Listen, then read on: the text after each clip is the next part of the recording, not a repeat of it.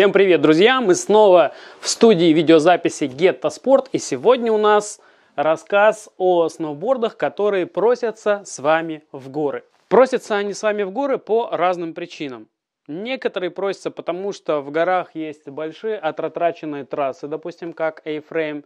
Другие просятся с вами в горы, потому что они предназначены для комфортного катания на высоких скоростях по трассе и вне трасс. Некоторые просятся с вами, а, потому что они жаждут пухлого снега. В общем, причин на это у них много. Но об этом чуть позже. А сначала я хочу ответить на глобальный вопрос, о котором меня спрашивают все сразу после возвращения. Как Кировск? Как Кировск? Что там Кировск? Кировск, ребята, стоит. Стоит как надо. Вот так вот подкинул проблем ратратчик. Въехал Прогресс Кировска как курорта виден невооруженным глазом. Я не был там года три, и когда приехал, я был приятно удивлен тем, что городской курорт и Большой Вудьявр соединены вместе. Теперь у них, я так понимаю, один владелец, и была проведена приличная работа. Помимо того, что построен подъемник, который поднимает вас с городского курорта на хребет, соединяющий вас с Большим Вудьяуром, так там еще сделали и очень приятный спотик, на котором можно отдохнуть после каталки или во время каталки. Стоят несколько кафешечек, то есть такой прям красивый пятачок со скамеечками, с какими-то качелями, где вы можете сходить там скушать гамбургер, выпить кофе, пообщаться, встретиться с друзьями. Я в этом месте менял доски местами. В этом плане Кировск молодец, Кировск растет. Я заметил, что появилось несколько новых гостиниц. Я жил в новом хостеле, он называется Вершина, о нем скажу чуть позже. Появились новые кафешки, там стало отдыхать гораздо-гораздо комфортнее, за что я Кировску отдаю большой поклон, потому что для меня это был курорт, на который ты собираешься сразу забыв про цивилизацию, просто чтобы дешево съездить в горы. В сущности, так примерно остается. Да, ценник на квартиры немножко подрос, на жилье тоже подрос, но все равно это относительно бюджетный курорт. А если говорить о петербуржцах, в принципе, как э, такой локализация определенной, то для нас Кировск это чуть ли не единственная возможность скататься в порядочные горы за небольшие деньги. Если чуть конкретнее, то в Кировск можно добраться тремя способами. Если у вас есть компания, вы можете легко прыгнуть в тачку и доехать своим ходом. Есть э, прекрасная возможность прокатиться с единомышленниками на различных автобусах. Здесь я хотел бы сделать небольшую рекламку организации, которая называется HIP Tour SPB. Благодаря этим ребятам мои доски доехали доехали до Кировска в целости и сохранности гораздо быстрее, чем я. В общем, ребят, спасибо, пользуйтесь их услугами. Я оставлю ссылочку в описании к этому видео. Для тех, у кого нет компании, но кто хочет максимально бюджетно добраться до Кировска, пожалуйста, ездите с ребятами от улицы Дебенко, у них отходит автобус. Ребят, еще раз спасибо, что помогли. Второй вариант, это проехаться на поезде. Что-то в районе 19 часов, по-моему, едет поезд а, от СПБ до Кировска. Но если вы глянете на ценники, по крайней мере, когда я ехал, ценник на поезд и на самолет был примерно одинаковый. Но на самолете вы летите полтора часа, поэтому я решил, что лучше я сэкономлю время и на самолетике долечу до туда спокойно. В общем-то, все и получилось. За 10 тысяч рублей я скатался туда и обратно. По-моему, очень неплохой вариант для быстрого трансфера в горы. Что касается жилья, я жил в хостеле в двухместном номере, он мне обошелся в 1800 рублей в сутки. И то потому, что я снял обе койки, потому что мне было важно раскидать весь свой став по всей комнате, и это было бы некорректно, если бы я жил там не один. У меня бы просто не хватило места, потому что, ну, вы сами понимаете, у меня до хрена всего с собой, включая видеоаппаратуру, мне это нужно было везде как-то так раскладывать, поэтому я воспользовался второй кроватью. А так можно было бы жить там за 900 рублей, и это, по-моему, прям сверх чип прайс. Причем хостел выглядит э, внутри очень приятно, но есть определенный но. Если вы едете в апартаменты вершину, то имейте в виду, что у вас будут стены из картона, вы можете слышать все, что говорят за соседней стенкой. Это не очень комфортно, но... но. И второй момент, там два туалета, по-моему, на штук 20 номеров. Мягко говоря, это немножко маловато. Причем душевых 3, а туалета 2. Это маловато, ребятам нужно продумать этот момент, потому что туалетов зачастую многим не хватает. Да, еще один был момент, что мне ночью кто-то в дверь пытался мою открыть. Оказалось, что администратор, которого нет на месте, они работают онлайн, просто созваниваешься с ними, он тебе сообщает код от двери. Э, короче, мой номер попытались сдать второй раз, это тоже было не очень приятно, но вроде там все они как-то договорились без меня. Я просто был удивлен, что кто-то пытался открыть мой номер. То есть, если подчеркнуть грубо, Кировск – это прекрасный полудомашний спот для всех, кто живет в Санкт-Петербурге, в Ленинградской области, Архангельской области, естественно, в Мурманской и в той же Карелии. Это замечательное место, чтобы вдоволь накататься, чтобы порадоваться прекрасным видом, для того, чтобы очутиться в местах силы, чтобы проникнуться духом гор и вообще попробовать, что это такое. Я бы всем настоятельно рекомендовал, если вы едете в горы первый раз, ехать в Кировск. Потому что, возможно, там после посещения Альп Кировск не произведет на вас впечатление. А вот в первый раз это будет прям ого-го, как круто. Горы там не самые высокие, по-моему, 1300 метров над уровнем моря, но этого вполне достаточно, чтобы прям накататься. С горой там не сравнишь точно. Что касается трасс, Южный склон мне очень понравился, трассы были подготовлены подготовлены весьма неплохо. Там есть куда съехать и вне трассы покататься. Но, естественно, почти у любого места есть свои плюсы, есть свои минусы. Какие минусы у Кировска? В первую очередь, это количество развлечений. Если вы приезжаете туда всей семьей, и кто-то из вашей семьи не катается, им реально тяжело найти место для досуга. Этого не хватает. Не хватает каких-то клубов, секций, в которые можно было бы отдать детей. Не хватает частных детских садов. Я бы с удовольствием поехал туда всей семьей, но реально я понимаю, что жене и детям там не хрен будет делать. Брать их на гору, на вершину еще пока рановато. Выделить для себя тогда свободное время просто не получится. Это минус. И там есть один бильярдный клуб, насколько я помню, и какой-то богом забытый боулинг был. Не знаю, сейчас он существует или нет. Но нет никакой рекламы, об этом я никак не узнал. Там таксисты об этом не говорят, что посетите что-то еще маловато. Поэтому, если вы рассматриваете для себя какие-то бизнес-идеи, вы можете спокойно в Кировске открывать все, что угодно, и это все, что угодно будет абсолютно точно забито на 100%.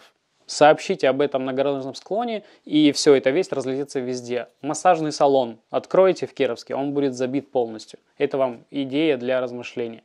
Не хватает сервиса. Что касается еды, слава богу, появились э, магазины и кафешки, которые работают круглосуточно. Потому что я, допустим, укатывался настолько, что я просто приходил домой и падал часа на три. Потом вставал только и думал, куда же мне сходить покушать. И нужно было поискать еще. То есть я там нашел пару рестиков, которые до 11 работают. Открылась кафешка, которая тоже до 11 работает. И то там я еле-еле успевал. Мне сказали, уже кухня почти закрыта, мы вот вам дадим. Выйдите домой покушайте. То есть чуть-чуть вот этого сервиса не хватает. В Питере проще поесть много забегаловок, которые работают круглосуточно, где вы можете реально там перехватить более или менее вкусной еды. И, конечно же, самый большой минус Кировска – это погода. Погода в горах, в принципе, довольно часто меняется, до 4 раз в день. В Кировске она прям вот колоссально может поменяться. За все 5 дней катания, что я был в Кировске, мне повезло с погодой часа на 3.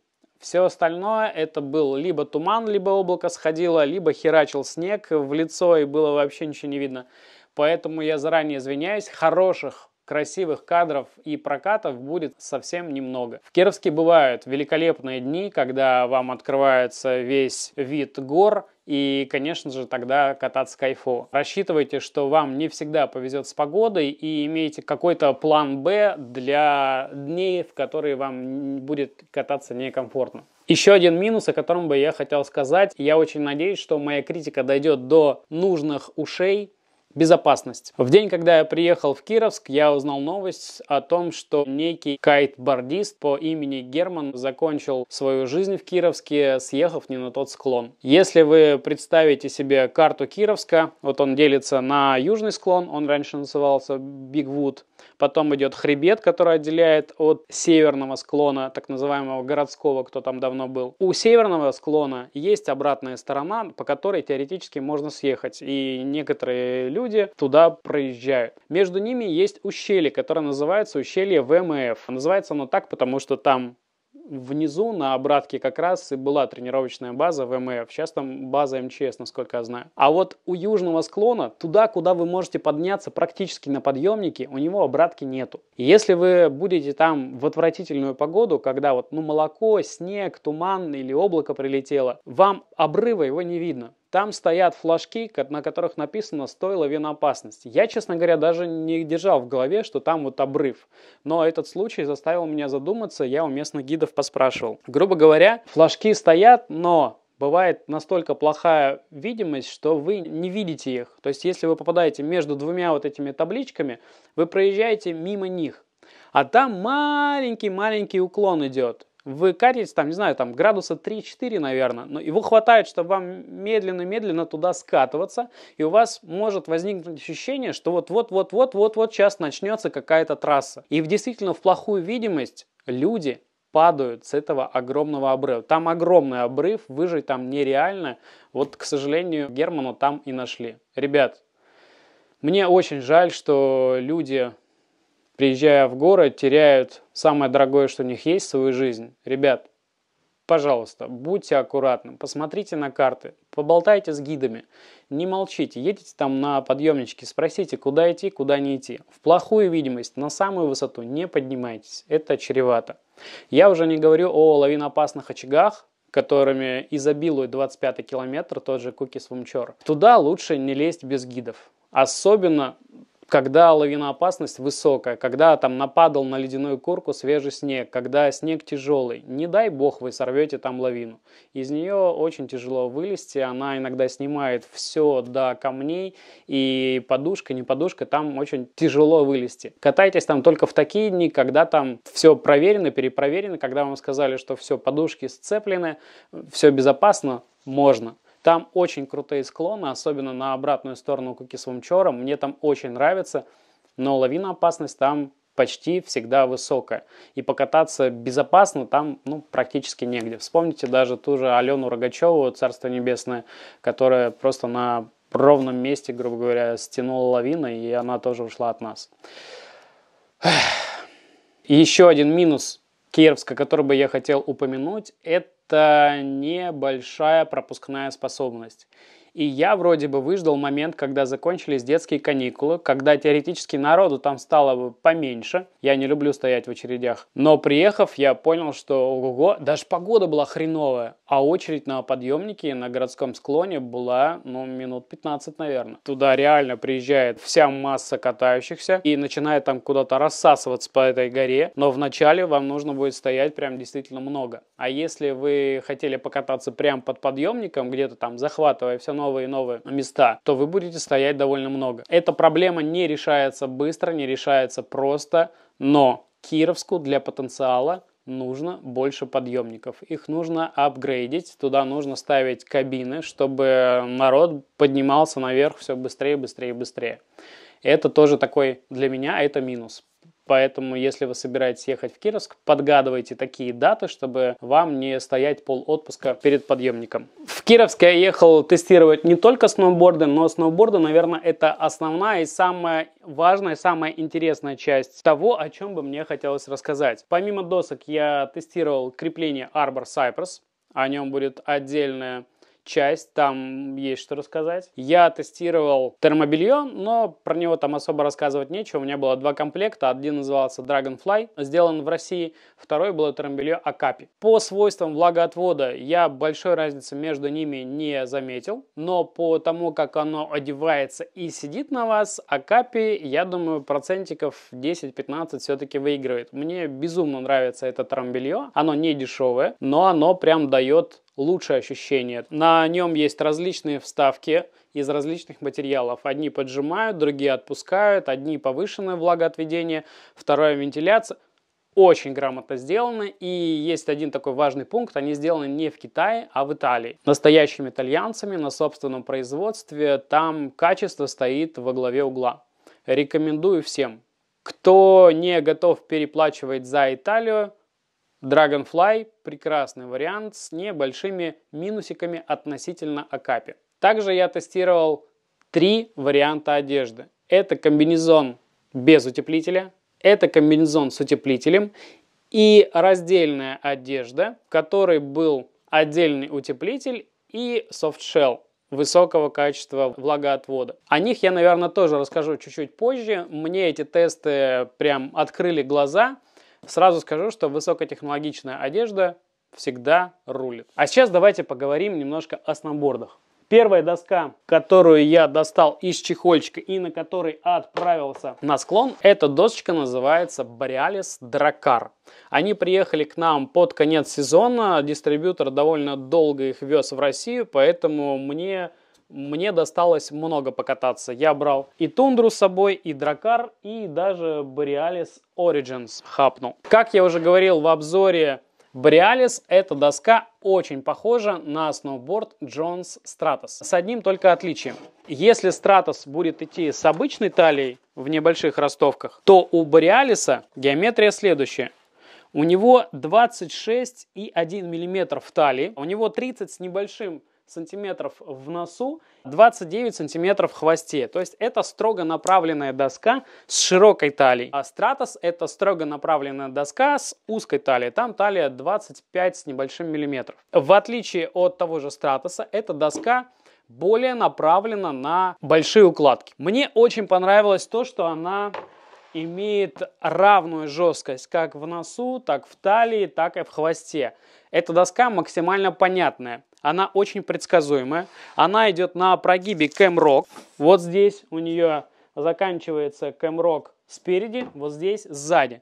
То есть вот, здесь, вот это маленький кимберок, который отвечает за устойчивость на скорости. А, это нос, который отвечает за всплытие в пухлом снегу. Ну и, соответственно, хвостик вот такой формы, он немножко как бы говорит о том, что типа я буду проваливаться чуть лучше, чем носовая часть в пухлый снег, и таким образом доска будет выплывать. Мне охеренно зашла эта доска. Вот прям, у меня маленький размер ноги, я переживал, что мне будет очень некомфортно с большой талией, Вообще ничего подобного. На ней очень комфортно. Она несется, она грызет склон. В отличие от того же флагшипа, на ней очень легко карвить за счет того, что нос у него не имеет какой-то такой вот прям осязаемой мягкости. Вы ставите доску на склон, и даже если ваша техника не очень хороша, как моя, и вы перегружаете нос, задавливая переднюю ногу, он не проваливается, он все равно идет по дуге. Мне это очень понравилось, мне было на ней офигенно легко. Я буду рекомендовать всем такую доску, кто хочет кататься в стиле карвинга, кто хочет попробовать для себя флет фристайл, на ней это вполне возможно. Именно тот флет, который идет с дуг. То есть, когда вы ее загоняете в дугу, резко оттормаживаетесь, под вами появляется импульс, и вы можете что-то выкручивать. Он спокойно крутится и в 360, и в 180. Катание в свече как на твине. Вообще вас ничего не парит. Ешь хоть в ту другую сторону, хоть в другую. В пухлом снегу, конечно же, это будет накладывать некоторый отпечаток, но на трассе вам вообще без разницы, что в ту сторону, что в ту. Эта доска настолько понравилась нашему оператору, мы с ним поменялись потом на террор, что он ее мне так и не отдал. Да, Женя докатал на этой доске весь остаток своего отпуска и сказал, что он все, копит бабки на дракар. Что касается минусов у доски, они тоже есть. И они все, которые я, по крайней мере, нашел, я их нашел только в топ-шите. Это натуральный бамбук. Бамбук дает очень хорошие свойства доске. Это пружинистость и крепкость. Она просто так не ломается. Но бамбук не самый прочный относительно механической прочности. То есть, если у вас куда-то прилетает удар, он прям отлетает кусочком. То есть, в некоторых местах, где сюда приходились какие-то удары или что-то за что-то цеплялось, в этих местах бамбук, конечно, у меня поотлетал. Это единственный минус, который я могу найти у этой доски. В остальном, мне кажется, что эта доска близка к идеалу. И поэтому я понимаю всех тех людей, которые пишут восторженные отзывы от Stratos. Дракар и Stratos это два брата, один пошире, другой поуже. Рекомендую для тех, для кого важен не просто бренд, а для кого важны именно характеристики доски. Эту досочку брал с собой Женя, наш оператор. Он брал ее в расчете на то, что в Кировске это большие горы, там много снега, все в пухленьком, все красивое, поэтому возьму себе чисто фрирайдную доску. В принципе, вполне реально, что могло бы быть и так, но Кировск это тот регион, где снег, если и идет, то, как правило, еще и херачит ветер, и весь снег сдувает. Его кристаллизация ломается, снежинки облупляются, и он э, превращается в такую, в небольшую крупу, так сказать. Если грубо, то в Кировске редко бывает рассыпчатый, пухлый, свежий снег, как в Шерегеш. Поэтому такую доску для Кировска брать совершенно не обязательно. Такая доска круто бы зашла в Сочи и круто бы зашла в том же Шерегеше, на Мамае, допустим, там, где нужна невероятная возможность всплывания. И здесь она как раз так. То есть, если мы нажмем на заднюю ногу, то у нас доска вся вырастает в такой в огромный нос. Примерно вот от середины, от этой полосочки до самого конца, это будет огромный-огромный нос, который не оставляет никаких шансов вам потонуть в пухлом снегу. Что касается трассы, для трассы она будет работать как обычный рокерный тазик. Если вы перешли с кембера или с жесткого флета на такую доску, то у вас будет э, легкий диссонанс. Вы не привыкли перемещать свое тело назад или вперед. Вы привыкли стоять ровно, у вас работает вся доска, и вы всю ее полностью ощущаете. А здесь же вы будете ощущать только центральную часть, и вам будет очень некомфортно первое время, пока вы не привыкнете кататься на рокерной доске. Для этого вам нужно грузить переднюю часть ноги, чтобы у вас рабочая длина канта была хотя бы вот такой – а не вот такой.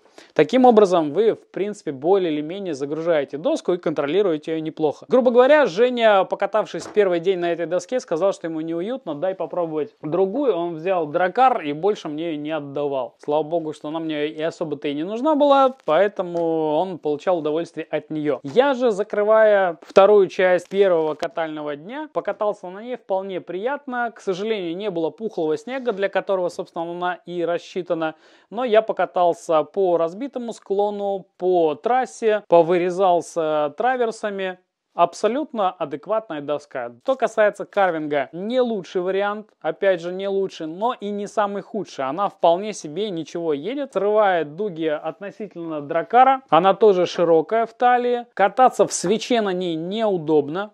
Это единственная доска из всех, на которой я вот прям чувствовал, что некомфортно мне кататься на ней в свече.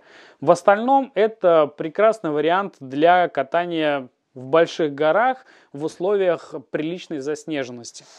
Если вы обратите внимание на ее профиль, вы увидите здесь вставки гриптека, которые, собственно, и позволяют вам э, вгрызаться даже в обледенелую трассу и чувствовать себя на ней более или менее неплохо. И вы действительно можете почувствовать, что она ведет дугу несколько агрессивнее, чем если это был бы простой рокер без каких-либо вставок.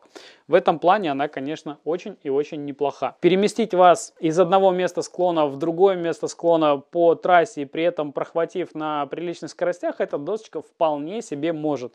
Ее коэффициент жесткости довольно большой. Скажу сразу, что если бы я выбирал себе доску для пухлого, я бы брал эту доску в 150 ростовке, а не в 160. Для меня она явно великовата, но если вы тяжелый райдер и вы не готовы тратить прям большие деньги, то Terror Rocket в принципе удовлетворит, да я думаю, что прям, наверное, всех.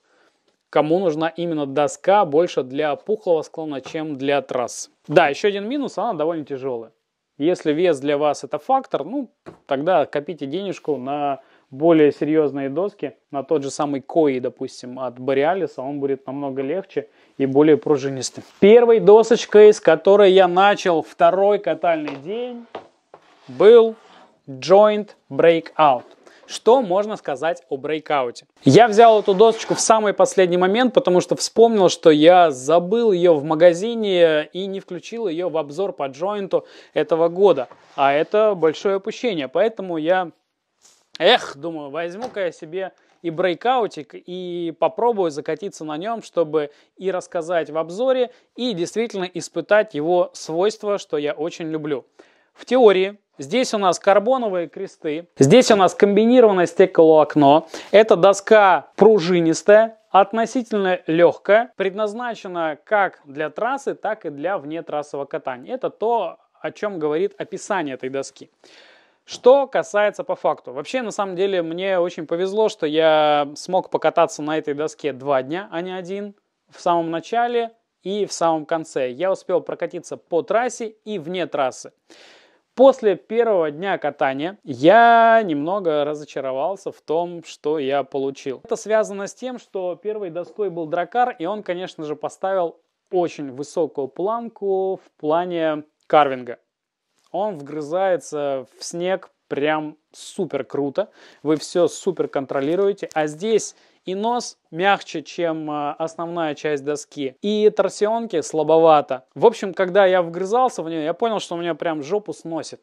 И мне это очень не понравилось, я немножко расстроился, потому что я ожидал, что эта доска за счет своих карбоновых иксов сейчас прям даст. Эти иксы, они не замкнуты, они не переходят друг в друга, они не идут вдоль, они просто влияют на быстроту перекантовки отдельно взятой доски. Но когда вы пробуете их в разную сторону гнуть, они получаются довольно мягкими, и это вносит определенный дисбаланс. Закантовать ее реально мощно мне было очень трудно. Я почти уверен, что есть какие-то мастера карвинга, которые на ней смогут там всякие укладки сделать, но мне по сравнению с предыдущей доской было тяжело.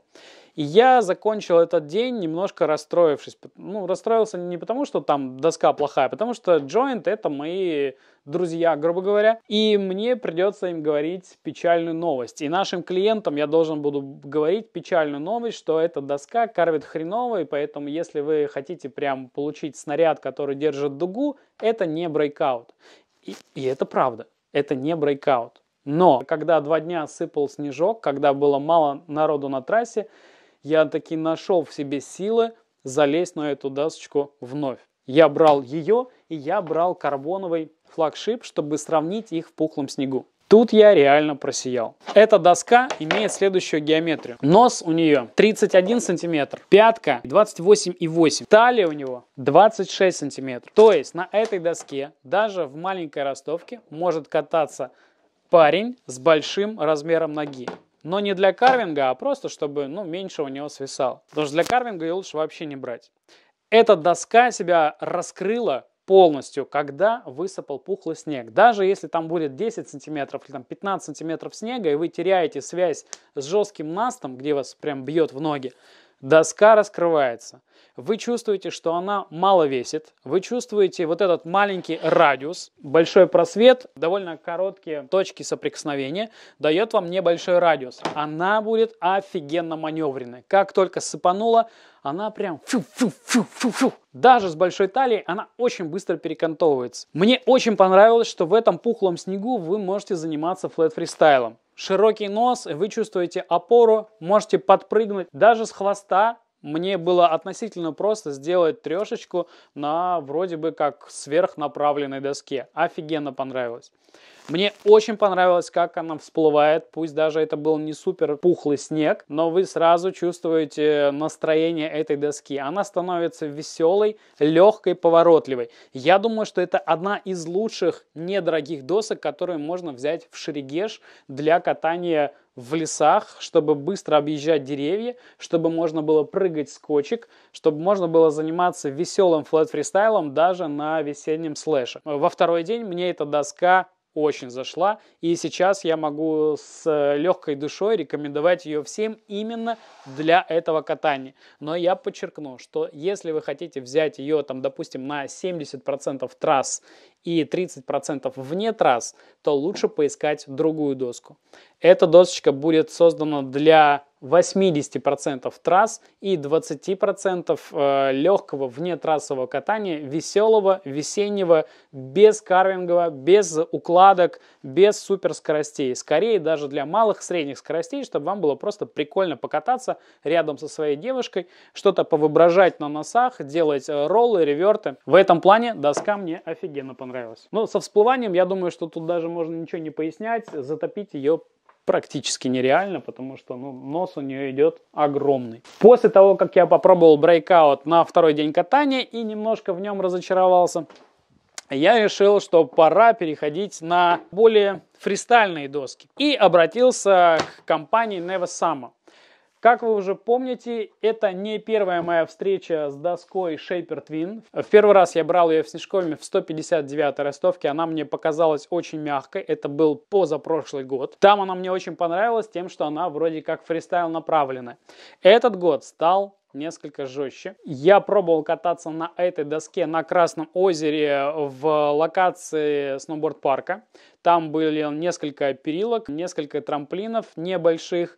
Для этой локации мне эта доска показалась несколько жесткой. Для флет фристайла она мне тоже не очень зашла, потому что я его пробовал на небольшой скорости. Для него и моей массы она жестковата. У нее довольно серьезная жесткость в носу и в хвосте. Она легко перекантовывается и дарит вам воздушность за счет прогиба. Но в сущности это довольно серьезная доска. С ней прям тяжело справиться на маленьких ходах, не имея опыта. Я взял ее в горы, чтобы немножко попробовать реабилитировать Shaper Twin. И в общем-то все свершилось. Как только у вас появляется пространство для набора скорости, для того, чтобы поизображать что-то красивое, вы понимаете, что Shaper Twin это что-то ого-го. Вы, в принципе, чувствуете сразу какой-то потенциал, которого не было у предыдущих досок за счет, видимо, виброгашения. Он очень легко, очень быстро набирает скорость и вас не подбивает. Что касается всплывания в пухлом снегу, здесь вообще не должно быть никаких сюрпризов для вас. Она будет очень хорошо плыть. У нее 31 сантиметр в носу, 31 и 30 сантиметров в хвосте. Талия 26, если не ошибаюсь. Да, 26 небольшим даже. 26,1, 26,2, примерно так. У нее очень хорошая хватка контов, она будет шикарно всплывать в пухлом снегу и будет давать вам возможность прыгать в пухлом снегу, как в свою ногу, так и в свечевую. Всплывает она и в ту, и в другую сторону, несмотря на то, что она направлена на легко направлена, так скажем.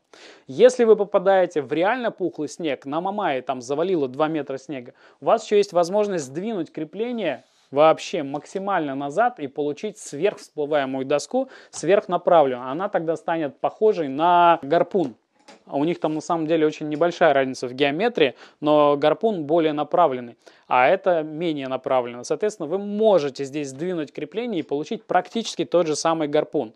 Доска супер универсальна, но не ждите от нее легкого катания в парке. Она все-таки любит скорость выше среднего. Если вы прыгун серьезный и у вас будут пролеты там 10 и более метров на трамплинах, вот там она себя проявит очень хорошо. Крис Керринг это олимпийский чемпион. На этой досочке катался на Олимпиаде.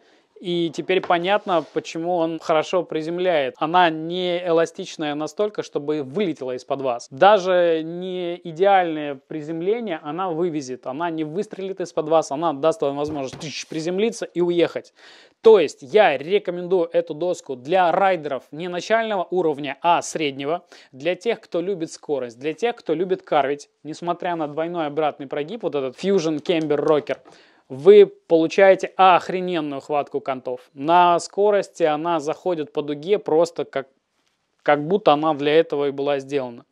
Вы получаете прекрасный вариант для того, чтобы всплывать из снега. Я заехал в легкую какую-то там микроцелину, ну и просто стоишь ровненько. Она не может утонуть, потому что у нее очень широкий нос, и он идет вот аж отсюда.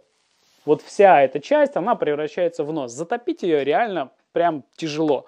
И при этом на ней можно повоображать, попрыгать туда-сюда. Хороший фристайл, направленный универсал для пухлого снега, для трасс, для карвинга либо для серьезного катания на трамплинах.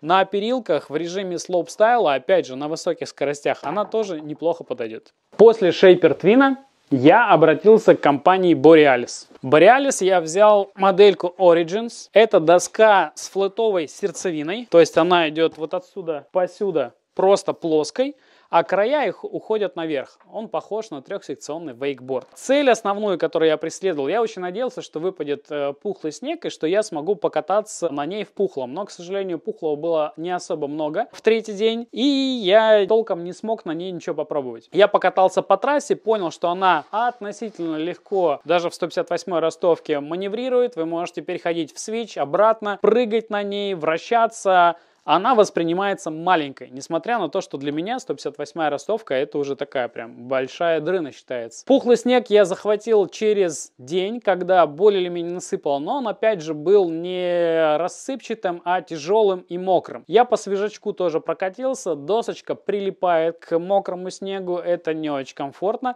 но я преследовал цель посмотреть на геометрию. И когда ты просто стоишь ровненько, у тебя нос, вот он нос будет, да, он будет все равно стремиться наверх. Собственно, это основная часть, которую я хотел вот опробовать на себе, чтобы еще раз удостовериться в теории данного прогиба. У меня одна из любимых досок, Капита Horror она точно на этом же прогибе, только она гораздо мягче. Там жесткость 4, и там у меня ростовка 149. И то в Шерегеше я неплохо выплывал из пухлого снега.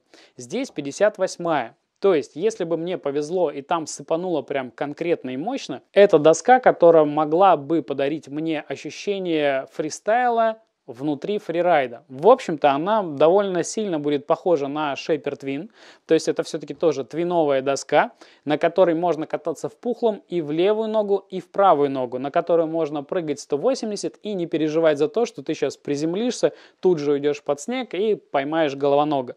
Это тоже офигенно универсальная доска, но в отличие от Nevasamma, с карвингом у нее дела хреново. Скажем сразу, да, эта доска не карвинговая. Она держит дугу гораздо проще, потому что у нее рабочая длина канта меньше. Здесь нет какого-то карбонового заряда. Может быть тайга, кстати, то же самое в сущности, только с бамбуком. Может быть у нее будет чуть получше, потому что там стоят и карбоновые иксы, и продольный карбоново-кевларовый ремень. Она посерьезнее немножко будет. Это попроще, поэтому мне в дугах она не сильно очень понравилась, но это это открывает возможность для начального сегмента райдеров пробовать себя в каких-то движениях. Это значит, что вы можете совершенно спокойно что-то творить и буквально пяточкой или носочком ноги минимизировать ваши риски для того, чтобы убраться.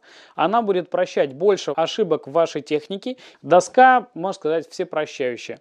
Вот такая 158 ростовка подойдет для фрирайда мальчику с массой где-то килограмм на 80-85. Она будет прекрасно всплывать, она будет давать возможность прыгать в флет фристайл, она легко позволяет вам менять ноги, не позволяет особо карвить, но, в общем-то, будет такой довольно веселый. Ее нужно брать именно для этого и ни для чего другого. Скорость э, как таковая и карвинг ей противопоказаны. То есть, если вы считаете, что вам нужен карвинг, то лучше от нее отказаться. Если вы считаете, что вам больше нравится кататься с вращениями, баттерами, делать прессы, то тогда этот вариант будет вам больше похож. Для ребят небольшого роста, моего телосложения, для того, чтобы кататься в пухлом снегу, я, наверное, ее тоже не буду рекомендовать, потому что есть доски, которые будут лучше, чем Origins.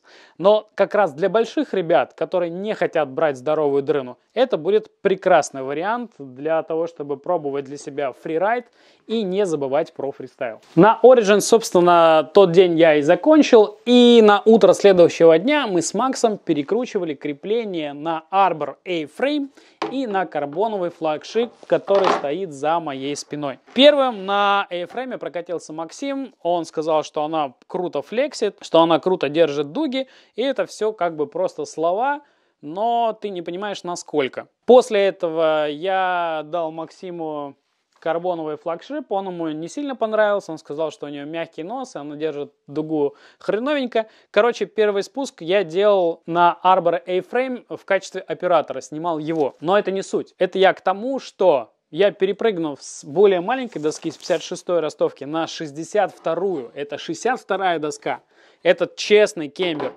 И вот на эту доску я перепрыгнул с той и не ощутил никаких проблем. Я спокойно проследовал за Максом, несмотря на то, что это серьезная жесткость, что это полноценный стопроцентный кембер, у меня не было проблем с управлением. Хотя я по, по этому поводу, честно говоря, переживал, потому что 62 для меня это дохрена. Это, наверное, одна из самых больших досок, которые я вообще себе когда-либо брал. Но мне очень хотелось, чтобы я попробовал Максим, как раз именно в полноценном карвинге, как он бы себя будет чувствовать. Ну, а себя я рассматривал как просто, типа, ну, попробую, что там будет. Итог этого катания. Я эту доску никуда продавать не буду, я ее оставляю себе. По очень простой причине. Она охерительна для карвинга. У меня до сих пор есть желание научиться кататься более красиво, более правильно, более грамотно. И для этого всегда вам в помощь должна идти матчасть. Вот в данном случае я не знаю ни одной другой доски, которая была бы более интересна, более выгодна для меня, как доска для того, чтобы осваивать правильную технику поворотов. Как только пришла моя очередь кататься на ней, я передал камеру Максиму, и начал делать первые дуги. По обыкновению я делал первую дугу фронтсайд, мы вот так вот вдвоем идем, Макс где-то здесь останавливается, снимает, как идет дуга, и потом говорит, что типа вот ошибка такая-то, ошибка такая-то, старайся туда, старайся сюда. Я это пытаюсь быстро проанализировать и как-то исправить ошибки на второй дуге. Смысл в том, что мы разгоняемся, я делаю первую дугу, и обычно я останавливаюсь где-то здесь, разворачиваюсь, спускаюсь с Максом и обсуждаем эту дугу. В данном случае мы идем вдвоем, я делаю дугу, Макс останавливается, а я уезжаю не на 6 метров вверх, а метров на 15. Вы понимаете, да? Это, это, кстати, единственная доска, которая на меня произвела настолько сильное впечатление из всех стоящих за мной. Она бомбически крутая. Просто вообще взрыв эмоций. Я, я спускался оттуда к Максу и говорю, охренеть. Кембер для карвинга это самое простое, самое читаемое, самое самое то, что нужно. Мне настолько она понравилась. Причем Arbor A-Frame, у него есть особенность. Он даже в больших ростовках идет на маленькой талии. Учитывая то, что у меня размер ноги 40, для меня это просто подарок. Мне на ней очень легко. Она очень быстро перекантовывается, что на задний кант, что на передний. Более того, я даже на нем 360 попробовал прыгнуть во флете, там с какой-то микрокочки в 5 сантиметров. Она позволяет творить чудеса. Я не знаю, как они этого добиваются, но она настолько хорошо сделана, вы чувствуете всю доску от начала до конца. Вы чувствуете, что нужно сделать, чтобы вот, вот так сделать или вот так, чтобы она сделала то, чего вы хотите. Самые классные, самые красивые дуги, которые я делал в Кировске, я делал на A-фрейме. И, собственно, именно по этой причине я ее не буду продавать. Если вы желаете себе заиметь действительно крутую доску для карвинга и ваш размер ноги не более 43 вот десяточка, если у вас стоит, я вам настоятельно рекомендую посмотреть на старенькие A-фреймы. Именно те, которые делались еще в Австрии, потому что в Арабских Эмиратах там поменялась геометрия, они немножко другие, там появилась ложка, они укоротились, более широкую лопату сделали. Здесь просто классика жанра. Как же она хороша, насколько они крутые и как я жалею о том, что они больше не делают именно этих досок, потому что в ней все понятно, в ней все круто, в ней...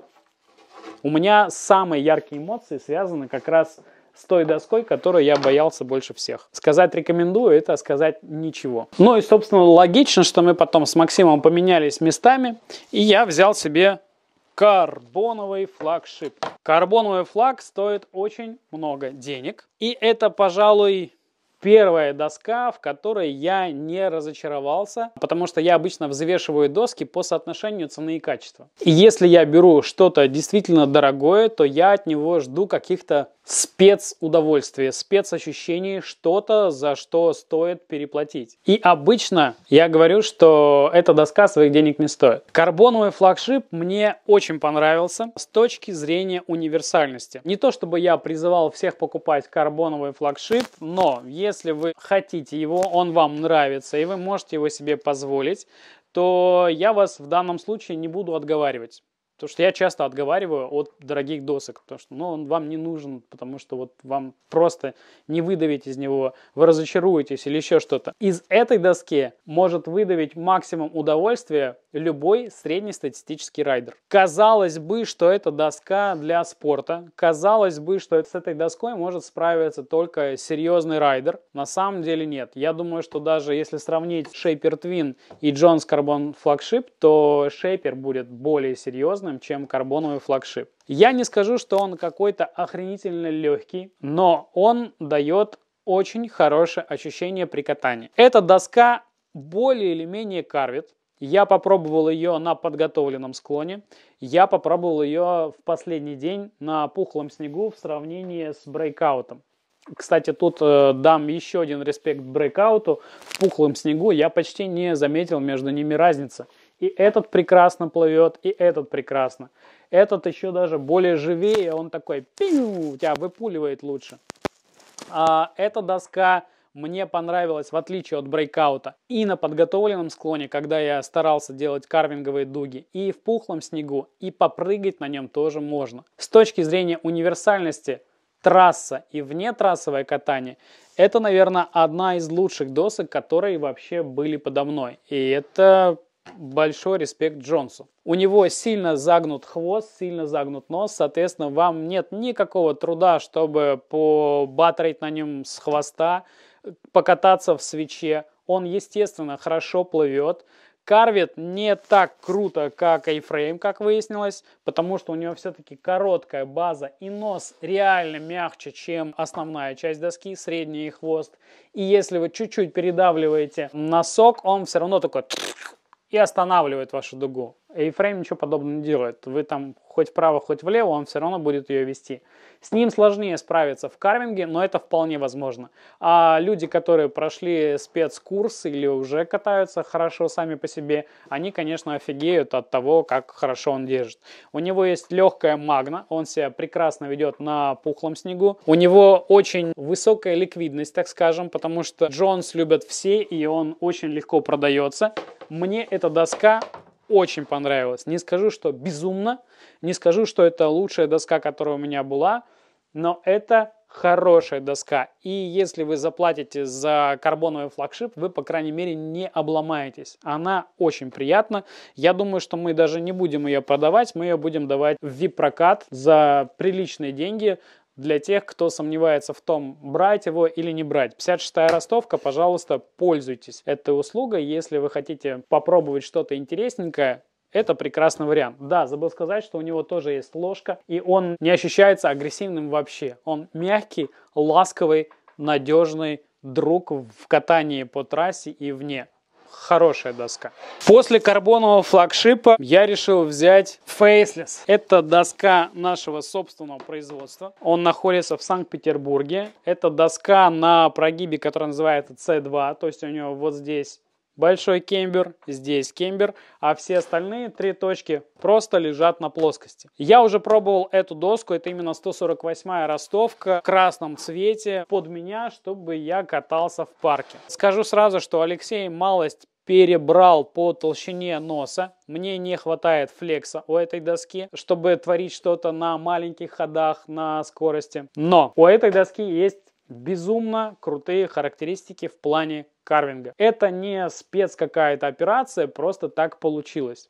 Два карбоновых стрингера, которые мы кладем в основу всей доски, дают потрясающую возможность для доски, чтобы она держала дугу. Это самая маленькая доска, которую я брал с собой, но хватка у нее приближается к A-фрейму так держать дугу на двойном обратном прогибе, я думал, что это невозможно. Она ее держит просто потрясающе. Я говорил, что топ-шит у нее будет отталкивать весь снег, оно к нему не прилипает. Не любой снег она отталкивает. Там была такая липкая чача, что она залепляла даже эту доску, и она на ней оставалась. Поэтому он хорошо отталкивает снег, но, к сожалению, не на 100%. Липкий снег на него все равно прилипает. Я не знаю, наверное, нет досок, на которые вообще не липнет снег никогда. Если вы раскочегариваете его до приличных скоростей и входите в дугу, у вас появляется возможность отпружинивать от носа и от хвоста. Он позволяет вам кататься во флет фристайле, но вы должны это уметь. То есть, если рассматривать эту доску как доску для начала, наверное, не стоит. Вообще, эта доска задумывалась как альтернатива сноуборду Arbor Whisky. И мне кажется, что мы не просто пришли к Arbor Whisky, а мы взяли чуть-чуть выше, и, наверное, эта доска будет больше похожа на Element. Arbor Element к фристайлу имеет такое посредственное отношение, и, в общем-то, здесь я вот как раз и узнаю Faceless. Но в отличие от элемента, здесь будут незаконченный кант, он будет мягкий и более ремонтно пригодный. Здесь мы используем отличную боковую стенку с добавлением каучука. Она мягкая, вы ее можете прям пальчиком потыкать, она мягенькая. И она дает вам шикарное виброгашение. Эту доску на скорости не бьет, она едет ровно, конкретно, вы чувствуете ее на 100% правильно. Я хочу отговорить от этой доски всех, кто только начинает свой путь в сноубординге, потому что она довольно серьезна. Немножко раскрою карты. Мы сейчас меняем стекловолокно с триаксиального на биаксиальный. Возможно, в следующем выпуске эта доска станет немножко мягче и эластичнее, и тогда это будет как бы откат назад. Но если говорить вот прям про конкретную доску, эта доска не для самого начала. Она прекрасно себя контролирует, она говорит, парень, лупи как хочешь, я слабину не дам. А вот ты подумай, типа, ты умеешь это делать, хочешь ли это и контролируешь ли ты свои действия на высоких скоростях. Если все так, я тебя не подведу, ты гаси. С прыжками, приземлениями никаких проблем нету. Любой дроп она увезет четко и ясно, никаких э, выскальзываний из-под вас хвоста не будет. На всплываемость, к сожалению, я ее особо тоже не проверял, то есть те 10 сантиметров, которые были в тот день э, между подъемниками, она проходит легко. Как она будет себя чувствовать прям в сильно пухлом снегу, я, к сожалению, сказать до сих пор не могу. Я очень надеюсь, что я попаду в этот снег в будущем году и скажу вам прям на 100%, что, ребята, эта доска плывет. Пока что предпосылки для того, чтобы плыть у нее есть. Это возможность вот этого выгибания доски до середины и превращения ее в один большой нос. Но тестов пока я таких не проводил. Пока что я могу опираться только на обратную связь от э, ребят, которые были на Камчатке. Там было сантиметров 30-40 снега. Сказали, что оно плывет лучше, чем лептех Трэвис Райса. Тут как бы, не знаю, верить не верить, но отзыв есть. Когда их будет очень много, мне не нужно будет их тестировать. Пока что у нас продано досок 30. Я потихонечку собираю обратную связь. Могу сказать одно. Эта доска точно стоит своих денег, потому что здесь нет абсолютно никакой переплаты за бренд, за бренд там ноль. Здесь стоимость материалов, здесь э, заложена работа человека, он делается полностью руками, никакой там автоматизации нету. И небольшая наценка магазина для того, чтобы продвигать российский сноубординг в массы. Мы очень хотим увеличить объем этих досок, но для этого нужно очень сильно вкладываться в историю строительства новых станков, новых прессов, новых ЧПУ закупать. Покупая эту доску, вы спонсируете наше сноуборд-строение. После фейслиса ко мне в руки попал Light. Mega Light Сразу скажу, что это одна из тех досок, которая выглядит просто на 5 с плюсов. У нее очень интересная геометрия. Это в сущности кэмрок, Точка соприкосновения со склоном у него вот здесь и здесь. Держак у нее по определению неплохой. Она может всплывать в пухлом снегу как раз за счет вот этого довольно приличного носа. Выглядит она на 5 с плюсом. Плюс у нее есть еще паупек. Это закладные, которые смещены назад. И если высыпало действительно много снега, вы можете сдвинуть крепления и поставить их назад.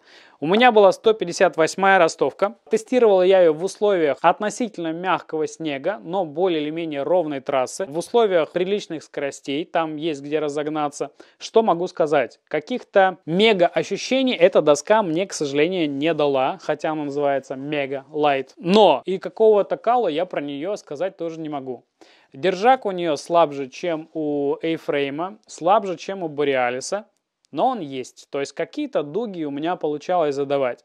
Но когда попытался там опять же в backside сделать то же самое, что я делал на A-Frame е, у меня она уже как-то так играла и стягивала. Нет этого ощущения четкости ведения дуги. Карбоновый флагшип будет себя чувствовать несколько увереннее. Возможно, это из-за того, что здесь нету магнотрекшена, а на той доске есть. По всплыванию, опять же, не было у меня условий пульнуть на ней куда-то в пухлый снег, но я почти уверен, что за счет вот этого носа она будет ехать вполне себе прилично. Сказать, что это прям какая-то потрясающая доска, я, увы, не могу. И пока что склоняюсь к мнению, что данная доска своих денег не стоит, но в общем-то, если она у вас уже есть, это неплохой вариант для фитнес-катания по трассе и для более чем уверенного катания вне трассы. В свече эта доска едет так же неплохо, как и в своей стойке, но в пухлом снегу не рассчитывайте, что вот этот маленький носочек будет выплывать так же, как здоровый нос спереди. Какой-либо конкретики или специфики у этой доски я более не определил. У нее относительно средний вес, я не скажу, что она прям супер легкая. Origins абсолютно однозначно легче, грамм на 200. Прям рекомендовать ее к покупке не буду, но если вы выхватите где-то эту доску там со скидкой 50%, наверное, это будет вполне себе неплохой вариант. После Мегалайта я пришел к машине и понял, что у меня не обкатанными остались всего две доски. Это Borealis Тундра. Я, собственно, на ней и закончил тот день катания. Тундра в Кировске меня ничем особым не удивила. Я как был прекрасного мнения о ней на Красном озере, так и остался. Она спокойно позволяет вам кататься на малых, средних и даже высоких ходах. Жесткость ее позволяет. У нее прекрасное виброгашение за счет э, деревянного топ-шита, за счет карбона кевларового сердечника с иксами вот так и продольным ремнем. Она позволяет попрыгать, она позволяет вам позаниматься флет фристайлом, попробовать все фишечки, которые связаны с легким карвингом. И более того, еще и в пухлом снегу она себя чувствует довольно неплохо. На мой взгляд, эта доска выше по статусу, чем Mountain Twin. Но у Mountain Twin есть э, два плюса, если вот сравнивать. Во-первых, это очень высокая ликвидность, потому что, ну, Джонс все очень любят, хотят. И с точки зрения там перепродать, если вдруг она вам как-то не зайдет или там у вас будет нужда, Джонс, конечно, продастся быстрее. Но я уверен, что с течением времени Бориалис наберет похожую славу, его ликвидность придет к ликвидности Джонса, и тогда Тундра станет просто бестселлером абсолютно у всех и на первичном, и на вторичном рынке. Доска супер, она звучит, она едет, это беспроигрышный вариант.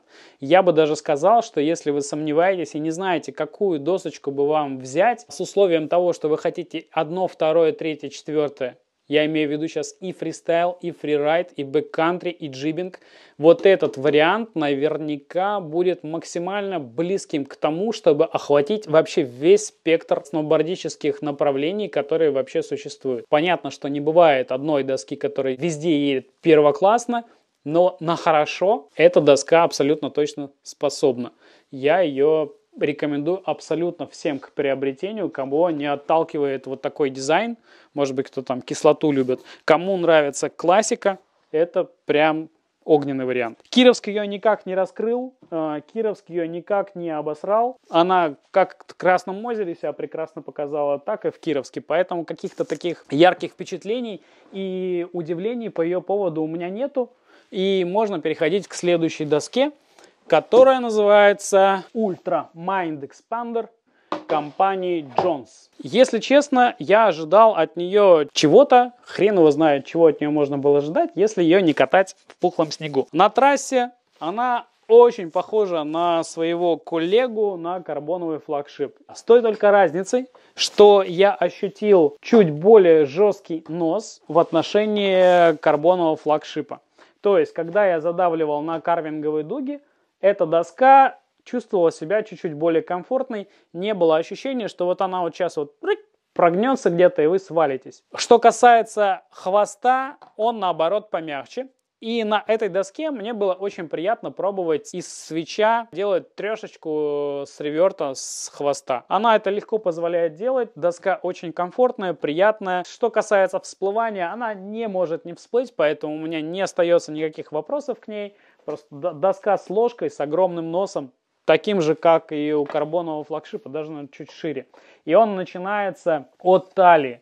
Он более широкий. Если у карбонового начинается примерно отсюда расширение, то у этого от талии. И она более строго направлены. Ну а по ощущениям, что та, что это, очень-очень-очень сильно похоже. Я думаю, что между ними, если есть разница, то процентов на 10. Чисто визуально кемберная часть между закладными не столько ярко выраженная. Соответственно, наверное, в карвингах поворотах на более хорошей кондиции снега она будет не столь отзывчивой, как флагшип. Но, тем не менее, на ней вполне реально делать такие же карвинговые дуги, как и на карбоне. Приятная доска, но без вау-эффекта. По крайней мере, для меня. Но вариант довольно прикольный. Что касается веса, она заметно больше весит, она такая прям суровенькая для относительно небольшой ростовки.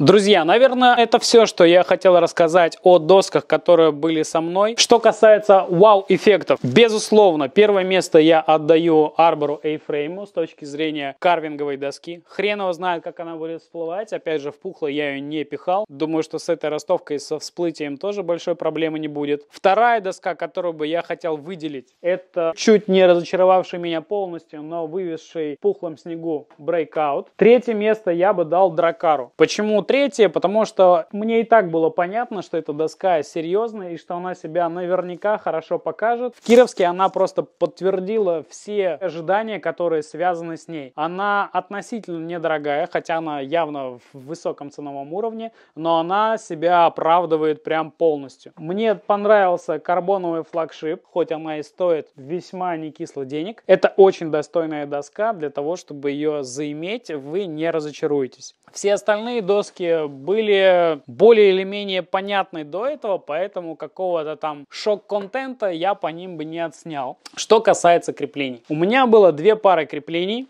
Одна из них это уже бывалое для меня крепление Union Strata с порядочным хайбеком, с хорошей жесткой базой, но на мини-диске. И крепление, которое я брал в тест на первый раз, это крепление Arbor Cypress. Что касается виброгашения, несмотря на то, что у Union Strata просто супер брутальная виброгасящая платформа, которая идет на всю базу Vapor Light, она прямо должна отрабатывать все круто. Мне показалось, что у Arbor виброгасящие свойства будут несколько лучше.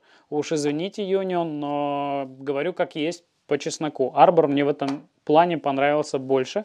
То есть, когда на плоскач приземлялся примерно с одних и тех же вылетов, здесь ты практически не чувствуешь этого удара, а здесь все-таки так хыч, потряхивает тебя. Это плюсик Арбору. Но, как сделаны настройки у Union, мне кажется, это все перекрывает. Потому что, когда я настраивал крепление Arbor, а было это в самый первый день, в час дня я заселился в гостиницу и решил подстроить сразу под свой ботинок, хайбеки загнуть так, чтобы не держались. Первый момент, когда вам нужно отрегулировать эти крепления, вы можете столкнуться с основным минусом этих креплений.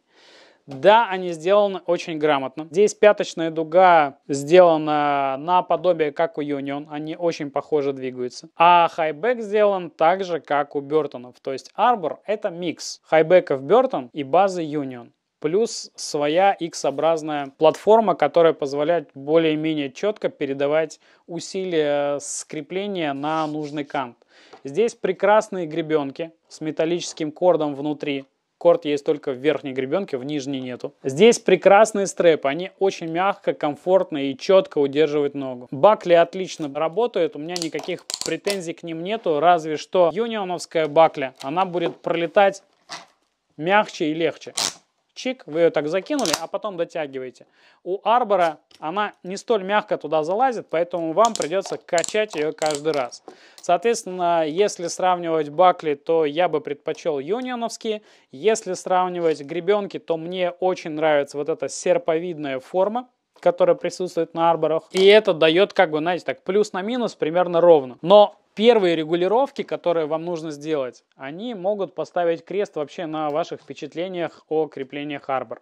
Дело в том, что здесь, чтобы отрегулировать хайбек, вам придется выкрутить вот этот болт.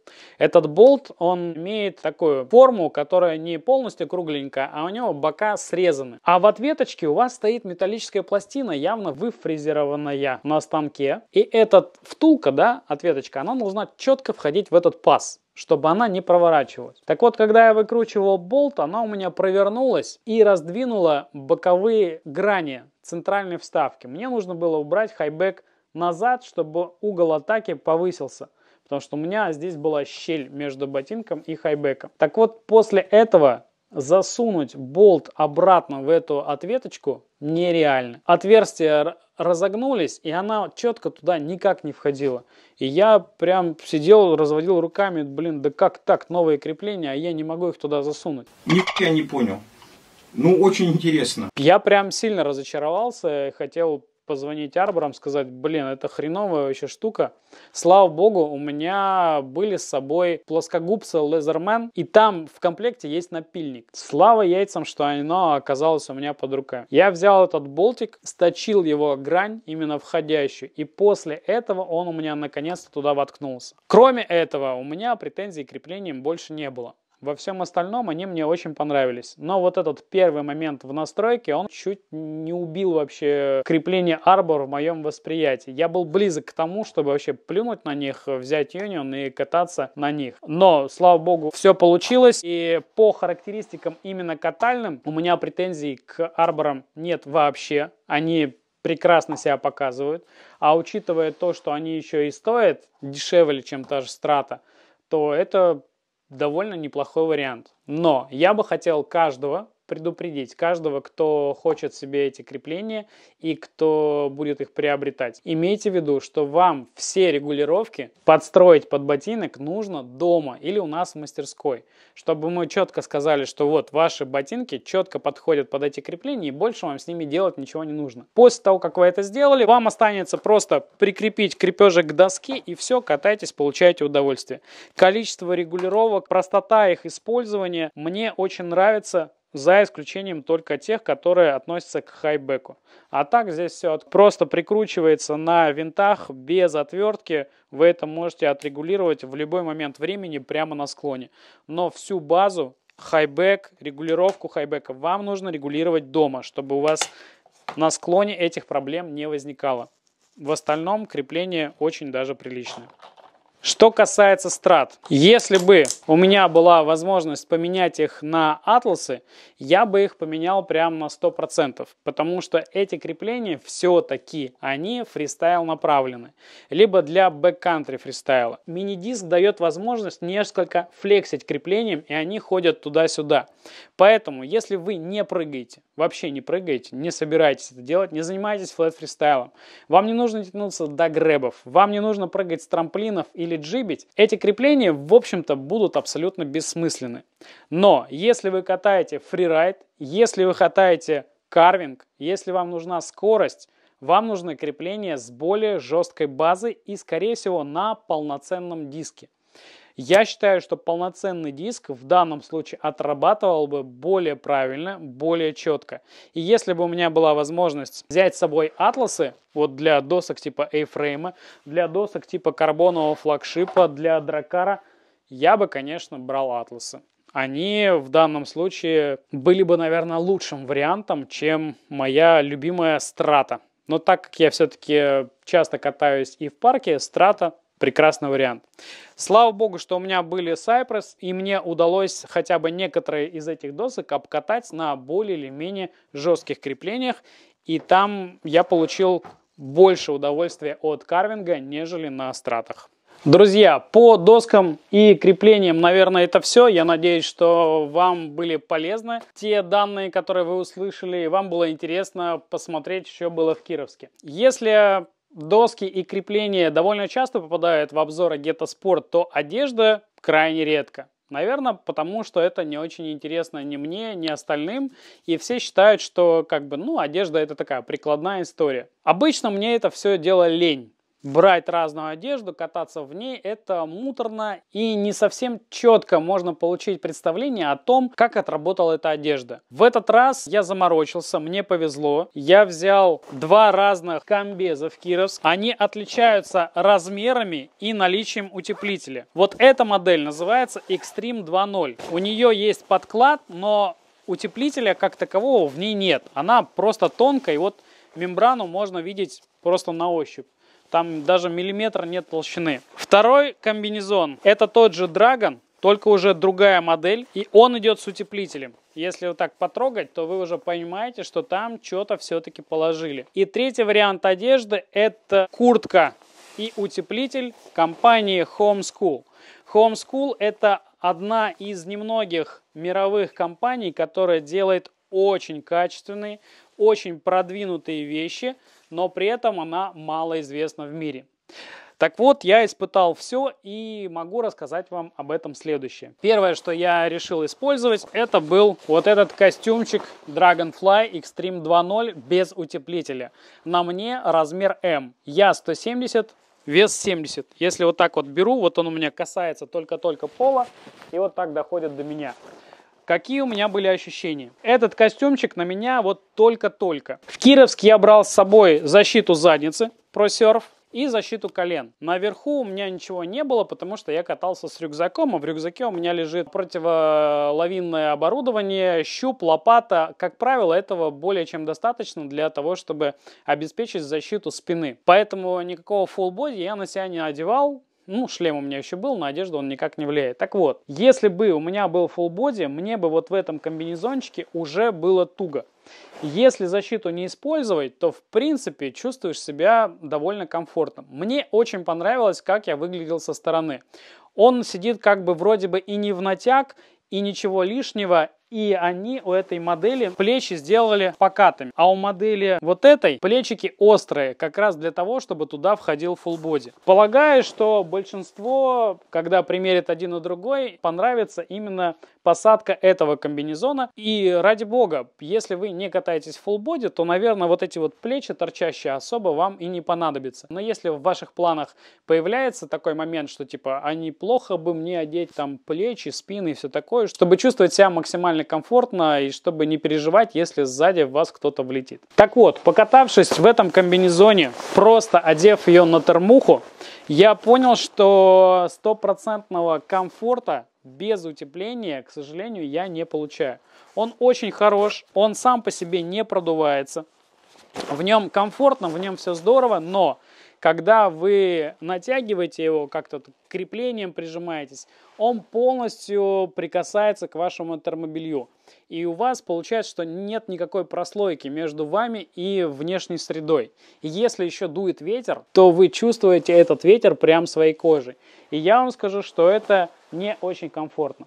Наверное, такой вариант посадки можно рассматривать, когда вы едете уже прям в конкретную весну, когда у вас хороший погожий день и где вот вам будет максимально комфортно чуть ли не в термобелье кататься, но вдруг там снежок падает, чтобы вы не намокали. Тогда этот комбинезон запросто можно использовать без утеплителя. Я сейчас говорю о себя, кто-то бывает жаркий, кому вообще похрену на этот утеплитель. Я говорю про себя. Да, это подшлемник, я, собственно, постоянно в нем катался, прекрасно работает. Это подшлемник компании Nixter. Во второй день я взял то, что Dragon рекомендует пододевать под комбинезоны без утеплителя. Это вот такая флисовая жилетка и вот такие флисовые шорты, чтобы не застудить важных мест. Они одеваются прямо на шорты, на защитную, и внутри их особо там и не ощущаешь. Он спокойно застегивается, расстегивается, никакого дискомфорта они не дают. И мне стало гораздо-гораздо комфортнее. То, что касается тела, то, что вот я закрыл, все, оно перестает прикасаться к вашему телу. Это небольшая прослойка микрофлиса не позволяет холодному воздуху прикасаться к вашей коже. И вам тут же становится намного комфортнее. Поэтому я рекомендую всем, кто берет такой комбинезон, иметь утеплитель. Как минимум вот такой микрофлис, а если ехать куда-то в более суровые условия, заиметь что-то типа там пуховки, Короче, любой утеплитель, который даст вам прослойку. Его можно таким образом варьировать, и вам не придется потеть как коню в плюсовых условиях. Если, допустим, у вас вот такой комбинезон, и вы поехали бы в Сочи весной, вы бы, конечно, в нем охренели, даже открыв все вентиляционные отверстия. Но в условиях Кировска, когда я катался в этом комбинезоне во второй день, он мне, конечно, офигенно понравился. В нем так тепленько, так хорошо, так здорово. И учитывая то, что это на один размер больше, мне чисто по функционалу он понравился больше. То есть ты в нем чувствуешь себя более раскрепощенным, тебя вообще нигде не подтягивает. Если ты вращаешься, ты не чувствуешь какого-то ограничения. В этом плане на размер больше брать гораздо прикольнее. Возможно, внешне он не так здорово смотрелся, как этот, но тут смотрите для кого что важнее – и М и Л я считаю, что на мне сидят вполне нормально. Но этот чуть-чуть сковывает движение, но сидит красивей. А этот более разболтанный, но при этом я себя ощущал в нем гораздо комфортнее. При этом у них есть разница в крое и разница в карманах. я сейчас хочу немножко покритиковать Dragon. Я обычно свой телефон вожу в нем. Так вот, его открывать и закрывать было неудобно. Он сделан так, что его тяжело прям найти, тяжело до него достать. Это не то, что невозможно, но если мне звонят часто, то я устаю вообще открывать, закрывать, открывать, закрывать. Поэтому я ставлю огромный жирный плюс вот этим карманам, которые закрываются не вот так, а вот так. Вот сюда залетал о, конфетка. Вот сюда мой телефон залетал просто на раз-два. Мне было очень легко вот отсюда его расстегивать. Поэтому мои драгоценные Dragonfly, если у вас будет возможность, сделайте Extreme 2.0 с карманами, которые идут не вот так, а вот так. Это будет большой плюс вашему костюму. Что касается молнии, я не чувствую какой-то глобальной разницы между косой или прямой. Мне кажется, что это просто визуализация. Но то, что у Extreme есть расширение вот этой части, это дает небольшой плюс при посадке. То есть, если у вас там подбородок большой, вот, вот такой, да, или у вас там пухлый баф, вы отстегиваете его и увеличиваете длину этой манжеты. И тогда он сидит, он вас не поддушивает, а он дает вам некоторую свободу. Мне это показалось очень приятным, потому что в ветреный день я одевал с собой баф и плюс подшлемник. Таким образом, он меня не душил, было гораздо комфортнее. Отдельные слова благодарности я бы хотел выразить компании TenPix. Я взял себе, ну, даже не на тест, я просто себе взял эти перчатки, эти триггеры, и был максимально удовлетворен всем, что они дают. В первую очередь, это их непромокаемость. Во-вторых, их крепость. Я там достаточно много елозил этой перчаткой по... Ну, там не было льда, правда, да, то есть я не могу сказать, что это прям какие-то суровые условия для тестов, но ни одной ниточки, ничего у нее не вылезло. Сразу скажу, что это не реклама, я вам скажу, что у нас были уже случаи какого-то брака по перчаткам Ten Pix. У одних ребят сломалась молния, было такое им тут же поменяли. И у кого-то еще то ли ниточка вылезла, то ли кожа где-то порвалась. Короче, два случая брака на все что-то в районе 150, наверное, пар перчаток, которые мы привозили в этом году, у них были. Я не хочу говорить, что это прям ультра надежные, супер не ломающиеся перчатки. У меня ничего не сломалось, хотя я ее открывал охренеть как часто. Часто забывал, что у меня эта молния есть, и я все-таки их снимал, и потом, блин, приходится обратно надевать. Плюсом является то, что вот внутренности этой перчатки, они не вылазят вместе с вашей рукой, даже если она мокрая. А у нас там был супер влажный снег, он там влажность 98%, там было просто как в сауне. В перчатках очень комфортно, и вот эта возможность открытия и закрытия, она прям супер, потому что иногда там нужно залезть в монопод, достать зарядку, подключить, чтобы ваша камера не сажалась. Мне не нужно снимать перчатки на подъемнике, я точно знаю, что таким образом они не улетят вниз, и мне не придется провести там 2 часа под подъемником, разгребая снег, искать, где же ваша перчатка. Поэтому Tenpix я ставлю 6 по пятибальной шкале. Это великолепные перчатки, это великолепная одежда для ваших рук. Я ее очень рекомендую всем. Так, по этому комбезику сказал, что он мне понравился. Мне не нравится зеленый цвет по определению, но какой был, такой был. Но по характеристикам, по тому, что дает этот комбинезон, мне он очень понравился. После комбинезонов пришла пора попробовать высокотехнологичную одежду от Home School.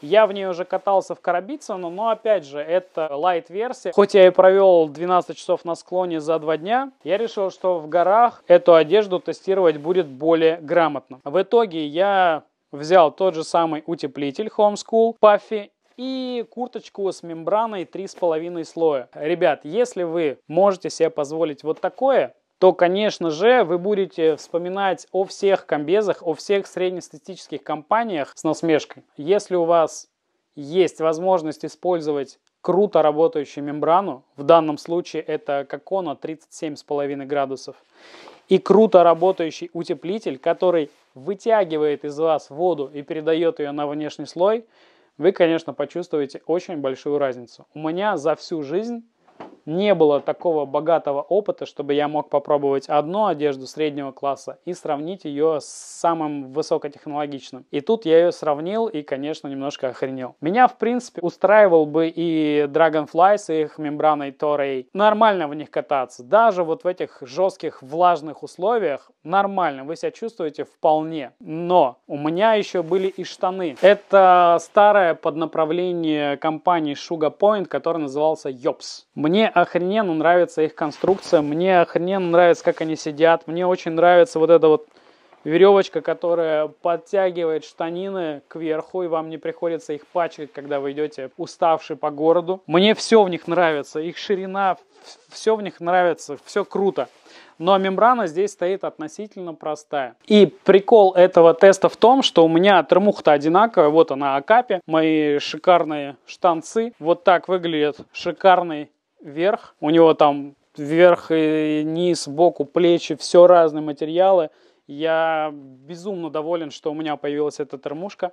Так вот, если у вас термуха одинаковая, а мембраны низа и верха разные, вы будете чувствовать разницу. Жопа у меня спотела, потому что у меня были все-таки штаны не топовые, и им уже не первый год, я их давно катаю. Грубо говоря, сейчас я не хочу обосрать там Йопс или Шугапоинт, я хочу сказать, что просто это большая разница.